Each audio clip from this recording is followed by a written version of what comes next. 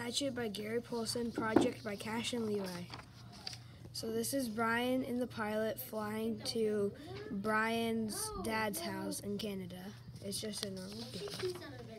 And oh no, the pilot, oh no, he's having a heart attack. Ah! And this thing they're crashing down.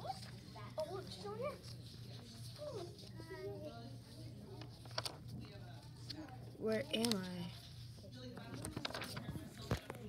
I'll make a shelter. Perfect.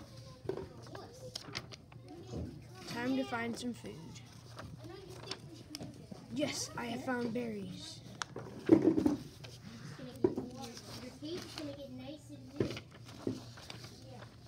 Great, just great. A bear.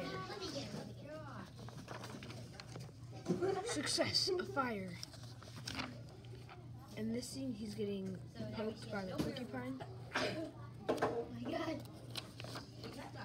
this scene, he's pulling out the quills. This is when the play the plane flies by Brian and doesn't see him. I'm down here.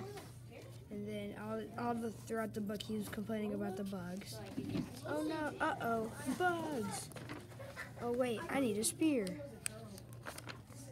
You're mine. Ooh, I found turtle eggs. Oh no, a skunk. He's throwing rocks at the skunk. There we go. Yeah. That's not even kind of complicated. Ugh, disgusting. Okay, now I clean you he's washing his face in and out. Get back in there. And then he made the water disgusting and the fish are mad at him.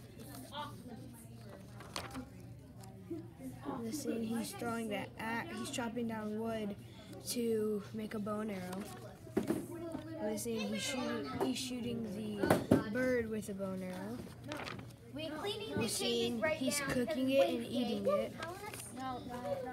In this scene, the tornado's in his way, or tornado's gonna is close to him, and he also remembers about the med kit. And in this one, he has the med kit, and then he found the transmitter, or whatever it's called, and said, "Ooh, I wonder what this does. I can't use it." Yeah, I'm just sitting right He's down here. This is off limits. This is And then the, the plane is landing. Ryan's right there, Oh my god. Why is this so hard? and then Ryan's saying, "I'm saved." Our favorite, that's the end. Our favorite part in the book was when he found the med kit, or care package. And the theme of the book was perseverance because he kept going when he was struggling.